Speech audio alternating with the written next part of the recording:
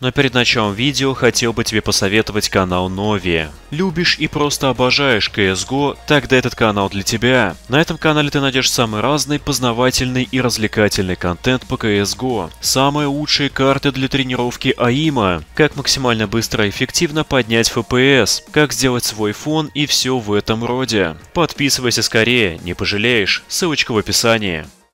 Итак, дорогие друзья, ну что ж, всем привет и добро пожаловать на новое видео. Наконец-то, наконец-то, спустя столько лет и зим, мы увидели какой-никакой кусочек официального Зена для Блокмезы. Скажем прямо, это был достаточно маленький кусочек, я им вообще не успел насладиться, потому что я прошел все эти три карты за один час. Но, тем не менее, насколько было приятно проходить эти прекрасные карты и наслаждаться этим Зеном. И сегодня в этом видео я подробно расскажу про этот самый Зен. А именно, какие отличия от Зена из оригинальной халфы, какие ранее невиданные механики здесь добавлены, покажу интересные моменты, ну и просто поделюсь своими ощущениями. Итак, поехали!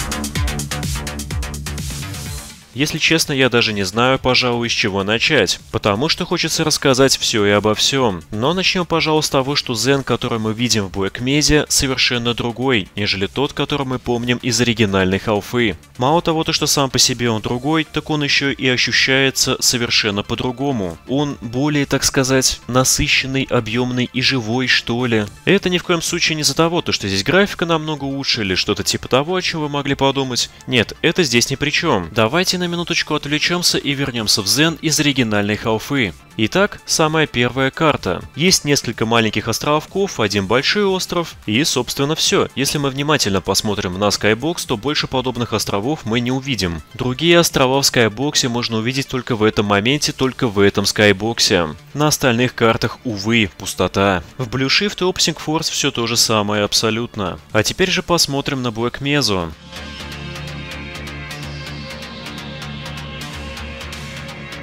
Острова, их десятки, маленькие, средние, гигантские острова. И практически на каждом таком острове кипит полноценная жизнь, которая кипит, понятное дело, и на вашем острове. Там тоже своя флора и фауна, там кипит своя жизнь. И это на самом деле очень сильно доставляет. Конечно, сейчас, смотря на эти острова, это не скажешь, что там что-то кипит, потому что они такие достаточно однотонные. Но, друзья, давайте будем честны, потому что это всего лишь бета. Я более чем уверен, что в релизе все это будет выглядеть совершенно совершенно по-другому. Кстати, раз уж я упомянул флору и фауну, то давайте поговорим как раз таки про них. Касательно флора и фауна здесь все просто безупречно. Просто огромнейшее количество всяких растений, деревья, какие-то непонятные грибочки, цветы, еще всякая непонятная фигня, в общем, просто обалденно, скажем прямо. И что больше всего удивляет, так это количество самых разных видов вот этой самой флоры. Растения, которые светятся, растения, которые не светятся, кустики, грибочки, цветочки, цветочки, какой-то мох, еще всякая непонятная фигня. В общем, проделаны просто огромнейшие работы, и это реально впечатляет.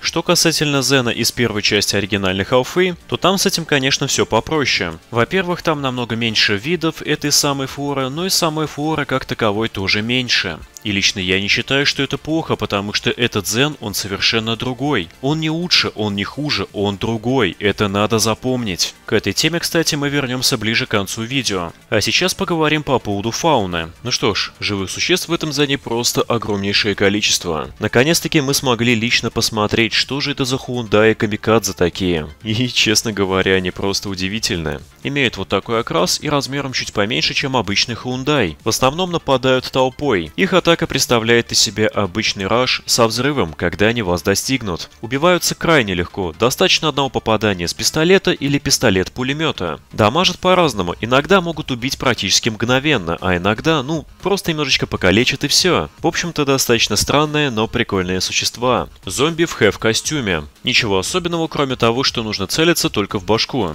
Потому что костюмчик у таких зомби, конечно, ну прям Я даже не знаю, что сказать. Если сравнить с костюмом Гордона Фримана, то создается ощущение, что у зомби костюм заряжен на все 100%, потому что костюм выдерживает просто огромнейшее количество попаданий. Вот как раз то, что сейчас творится на экране, вам яркий пример. Но что самое смешное, если взять Fire и поднести к этому зомби в хэв костюме, то он просто в момент загорится. И где-то буквально 10 секунд, и все, он умрет. Это, конечно, выглядит ну очень смешно и на самом деле нелепо. Думаю, с этим потом что-нибудь в релизе все-таки придумают, потому что это действительно, ну, как-то, ну, так себе. Что касается взрывчатки, эти зомби также переносят ее на раз-два. Следующие достаточно интересные существа это вот эти. Насколько я знаю, их называют простейшими. Можно сказать то, что они к вам нейтральны и вообще они ко всем нейтральны абсолютно ни на кого не нападают, единственное, что они делают, это просто тупо летают по уровню, и в принципе все. Единственная такая достаточно интересная фича, что когда вы к ним подходите слишком близко, они начинают как будто интересоваться вами и буквально липнуть в прямом смысле. Может это связано с тем,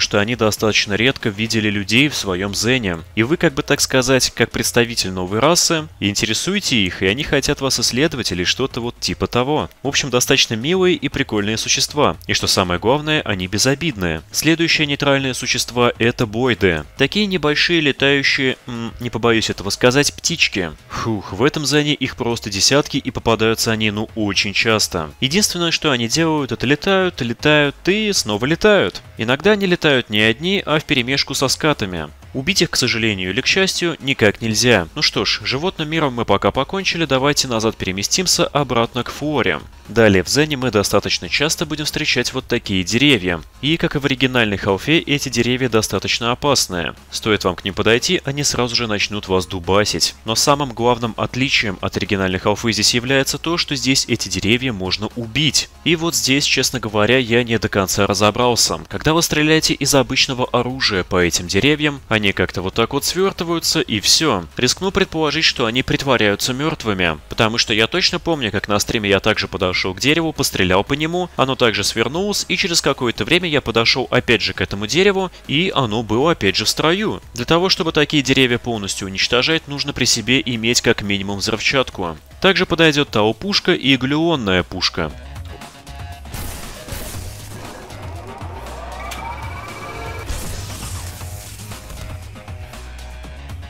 Небольшое, но интересное отличие вот этих светлячков. В Зене из оригинальных алфы эти светлячки прятались как только вы к ним подойдете. Здесь же такого нету, здесь вы можете подойти к ним вплотную, посмотреть на них, потрогать их и даже попрыгать на них. И они на это никак не отреагируют. Но это все будет ровно до того момента, пока вы не начнете их атаковать. Сразу после первой же атаки они спрячутся. Также в этом зене появились такие вот непонятные, опасные взрывчатые растения, или что-то типа того. Можете их использовать против врагов, чтобы их было резче и быстрее убивать. Как говорится, классика. И вот здесь мы переходим потихонечку ко всяким геймплейным новшествам, фичам и так далее. Во-первых, что касается лонгджампа. Использовать его придется вам здесь всегда и везде. Вот вы пропрыгали какое-то место и не пройдет и минута, как игра снова заставит вас его использовать. Где бы вы ни были, в подземельях, на каких-то островах, на каком-то большом острове и так далее. Единственное место, где не придется его использовать, это база людей, где вся игра сводится к тому, то, что вы как раз по этой базе мотаетесь и пробиваете себе путь. Ах да, кстати, в Зене просто огромнейшее количество следов пребывания людей. Какие-то аванпосты, мелкие, большие, есть чуть ли не полноценные базы. Просто огромнейшее количество всякого научного оборудования. Также в больших количествах встречаются всякие устройства и постройки, которые предназначены для облегчения перемещения людей в Зене. В общем, если говорить кратко, ты просто на все это смотришь и понимаешь, что, что да, действительно, этот Зен действительно исследовали, и люди здесь конкретно обосновались. К слову о людях, постоянно будут попадаться трупы ваших товарищей.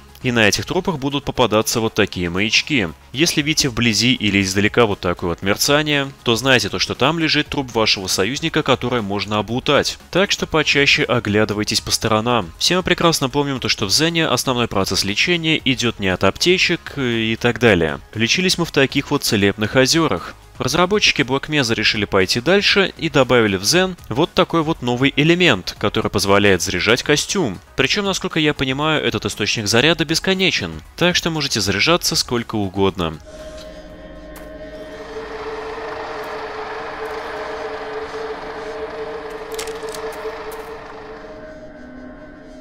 Небольшое геймплейное введение, которое заключается в том, что вам теперь придется периодически париться со штекерами и разъемами, чтобы пробивать себе дорогу. К примеру, есть закрытая дверь, и вам нужно подать на ее замок энергию. Ищите кристалл Зена, вставляете этот кристалл в специальное зеновское устройство, и потом уже в это же устройство вставляете непосредственно штекер от замка двери, впоследствии чего тот получает энергию и открывает дверь. И таких моментов куча. Также ввели вот такие странные препятствия, которые открываются путем расстрела типа кнопок. На данный момент эти препятствия представляют из себя такие огромные листы. А вот, кстати, и сама кнопка, знакомьтесь.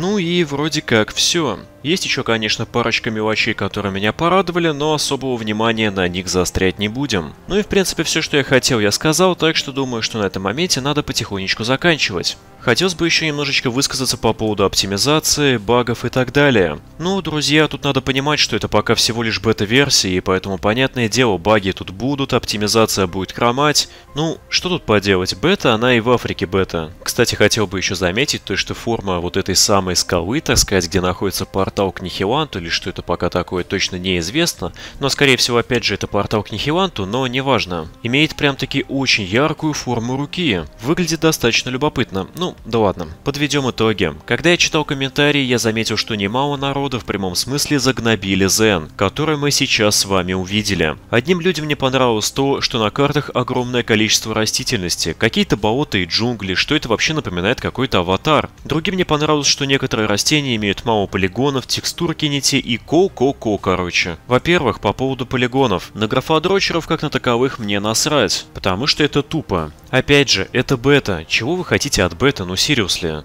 Во-вторых, что касается аватара Бауты джунглей, тут, конечно, я согласен. Достаточно врубить аватар, перемотать на середину, отключить звук и включить вот это.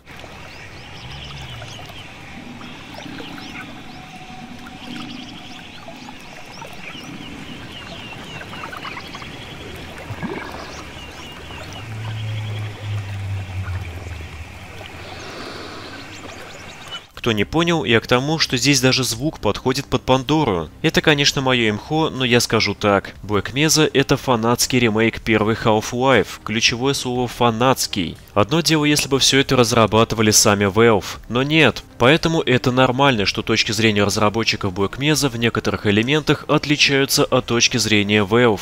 Ведь по сути сама Black Mesa очень сильно отличается от Half-Life по дизайну, атмосфере и по другим важным и не очень элементам. Да и сколько лет уже первой Half-Life? Когда она разрабатывалась, возможностей для реализации некоторых вещей было в разы меньше. Кто знает, что бы мы сейчас увидели, если бы Zen выкатили сами Valve, ведь у них тоже за такое время поменялись взгляды на одни и те же вещи, и не один раз. Поэтому не вижу ничего в этом такого плохого, да и более того нам показали всего три уровня. Ну, давайте, пожалуй, на этом моменте как раз таки и закончим. Надеюсь, вам понравился видос. Не забывайте ставить укосы, не забывайте подписываться на канал. Пишите свое мнение, как вам Zen, понравился, не понравился. Интересно узнать ваше мнение. Ну а я с вами прощаюсь. Всем пока, всем удачи, до новых встреч, пока-пока.